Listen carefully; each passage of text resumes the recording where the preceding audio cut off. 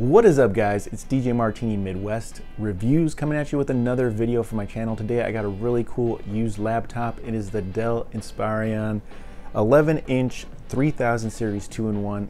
Tablet and a laptop. Very, very cool um, laptop that you can make it good for 2021 in my opinion guys. It's going to be a good laptop. It's going to be a good video. Stay tuned. Um, but first, I just want to say thank you guys for tuning in, liking, subscribing. Thank you for all the love and support, guys. You guys are awesome. I'm only trying to help make videos on some valued items, some used items, some new items.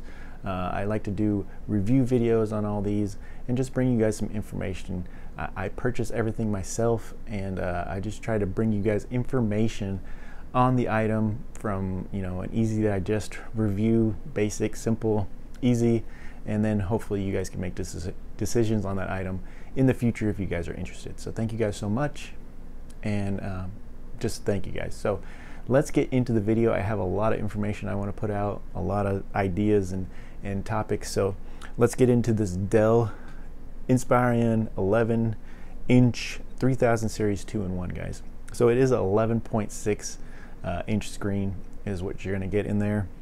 The laptop itself is only 8 inches height and 11 inches length. It's like 11 and 3 eighths.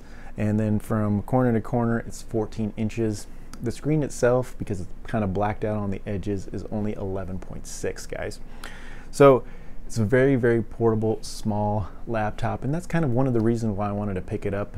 Uh, not only is it a laptop, but it's a tablet with a touchscreen, so that's excellent. The only thing that I think can really rival it is a Surface Pro or even an older Surface Pro uh, because I did have a Surface Pro for DJing, uh, but it was uh, kind of cumbersome because you'd have to bring a, not only the Surface Pro but a dock and you know extra things to plug it in, and uh, you'd have to put it all together.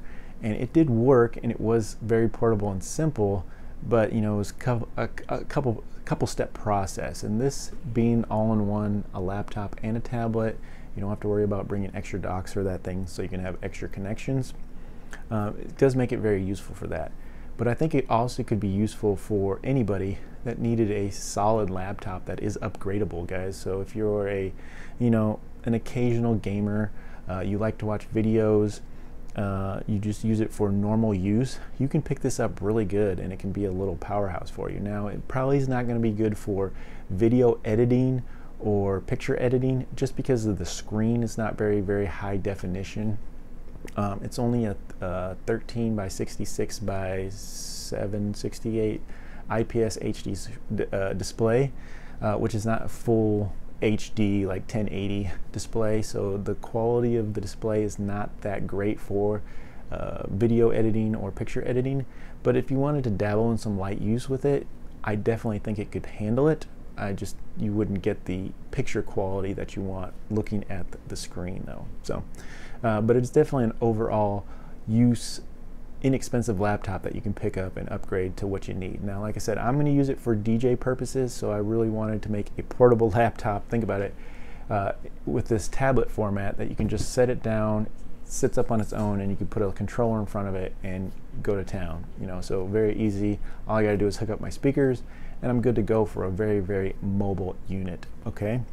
So that is very, very good. So I picked this up for $150 and the only reason I even picked it up for $150 is because it had already had an upgraded SSD hard drive in it. Unfortunately, that hard drive was faulty when I got the computer and I ended up having to replace it anyways. But if you didn't buy it with an already upgraded hard drive, you can easily pick these laptops up used on eBay for $50, $50 uh, which is fantastic. But you will have to do some upgrading. You'll probably have to put, it'll probably be missing parts. It'll be missing a hard drive, some RAM, maybe an operating system. But those are all very easy things to overcome and to fix. And so you can get this laptop and build it for under $200. Now with my build, I was right at $250 where I kind of wanted to be anyways. Uh, but I probably could uh, the only thing I probably would have changed is I might have upgraded for another $30 uh, to a one terabyte uh, hard drive, which would have been awesome. And it still would have been an SSD as well, which would have been fantastic. But to keep it under my 250 price range that I had marked for myself, I only put a 500 gig PNY uh, hard drive in it, which was I did a video on, so check that video out as well if you guys want to figure out how to do that. But I did that as well, and it worked out very, very good. And like I said, the only reason I had to do that is because the other one was very faulty and died on me after, you know, I let the computer run for a long time. So other than that, um, the computer itself works very, very good. We'll show you everything on the laptop. Uh, it's a shiny screen. It's not the matte, it's shiny. Uh, but it is very, very sturdy. It feels like it'd take a beating. Those hinges are very, very thick and nice. Very, very basic on the uh, design, but you know, simple. Um, the bottom, very, very simple, has about 12 screws, and then the whole bottom panel pops off, and you have very, very easy access to everything down there. So, very upgradable. And I'm going to keep saying that the whole time because that's a very, very positive on this laptop how easy it is to get to the parts, and including the battery, the hard drive, and the RAM memory. So, which is probably the only things I would really mess with. Uh, the keyboard is nice very nice. You know, it's not a full standard keyboard, but it does work very nice. You can see my hands there. And then the mouse pad itself worked very, very good. No problems there. So I do like that. I do like that it has actually uh, three USB ports, uh, which is very, very good. So you got one on this side right here, and this is a 2.0. You're going to have a standard SD card slot. Uh, I have a micro in there right now uh, with an adapter and it's working quite great. Um, this is the speaker right here. This is a volume level, so when you're in tablet mode, you can easily adjust the volume, and then the power button right here on the side. On the other side, you're going to have two more uh, USB ports. One is fast 3.0 and one is a 2.0. Um, this is a 3.5 millimeter jack for your speakers or headphones. And then this is a power for your power brick, power adapter, but it is nice that it has an HDMI uh, standard port right there. So you can easily hook it up to a TV or an extra monitor for video DJs or things like that. Very, very cool there. Um, like I said, very simplistic, easy design. Uh, I do like the screen though. Um, um, and we'll fire it up here in a second and I'll show you that. Um, here's what the power brick looks like. It does have the uh, three prong right there, uh, but you know, not huge power brick. And then it has the uh, end here that does have a little light on it uh, right there, and uh, you'll be able to see when that's on. So very, very cool there. So when these first came out in 2014, they actually had pretty good specs. They had two to four gigs of RAM memory, and for a tablet, that's fantastic. For a computer, is a little light, but uh, for a tablet, that's fantastic. And it had 500 gigs of uh, HDD hard drive memory, which is actually pretty good for ta any tablet. Try to find a tablet out there with that much, um, besides like a Surface Pro or something like that. And so that was very, very cool back in the day. So that's why I really think it can be upgraded to today very easily because I went to the store and looked at uh, laptops in this size at the 11.6 um, or 11 inch screen size, um, laptop size, and you're not going to find what you can do to this in those laptops, and most of them will be Chromebooks as well. So you can't even use DJ software on a Chromebook. So having a Windows computer is going to be very valuable for all the extra apps and things that you can do with a Windows computer compared to a Chromebook, unfortunately, right now to this date. So um, very, very cool there. So um, let's get into all the specs that we have now. Okay, so like I said, they came out with two to four gigs, 500 gig um, RAM memory. It's still like the display is a little weak, like I said, at the uh, 13.66. It's basically 720p HD. Um, so like I said, you're not going to be able to do very good photo editing or video editing, uh, but you could dabble in some light use if you wanted to. Uh, light use gaming as well because the graphics aren't going to be that fantastic, but it does have a graphics card. Uh, the CPU is a uh, basically a Pentium uh, N3530 um, with the four core, so you know pretty decent there uh, for a simple, uh, like I said, tablet slash laptop that it is. Um, but like I said, it can be upgraded. So it's pretty much the most important specs there. Like I said, 11.6 IPS HD display, which is 720p.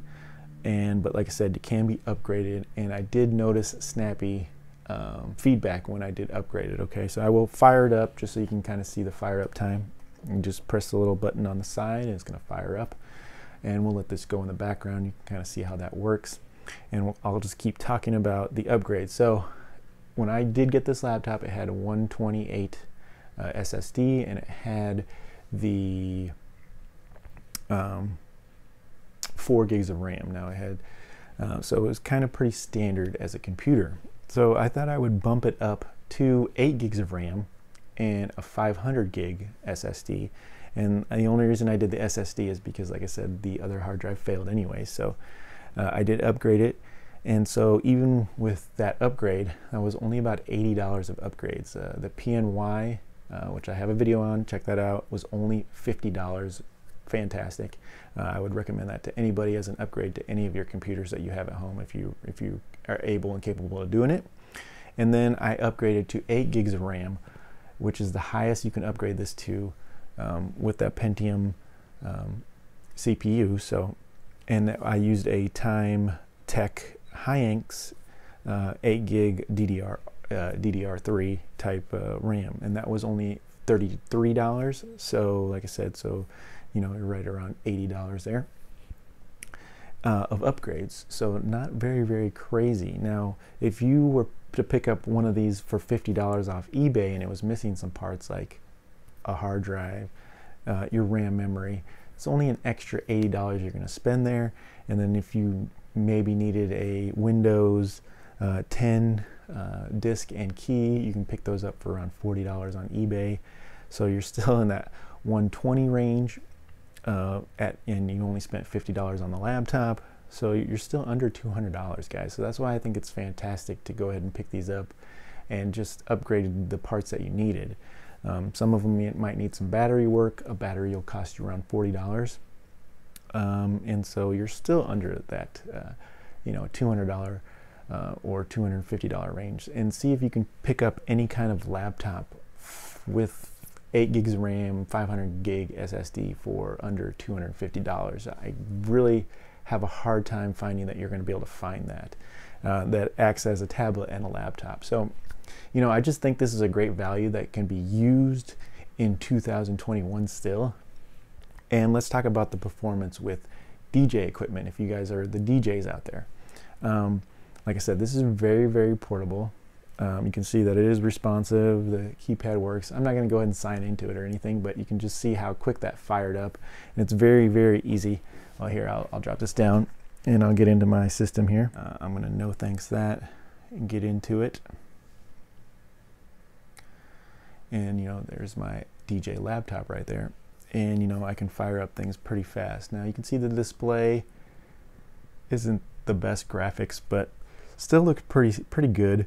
Uh, I do like the only one issue that I have with this laptop is uh, the brightness. It seems a little bit dark, even when you're in a dark room. The you can't really. I wish it was a little bit brighter screen, but other than that, pretty good. Now I think I have it at its full brightness right now.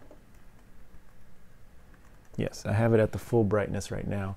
And to me, it just seems a little dark compared to other computers.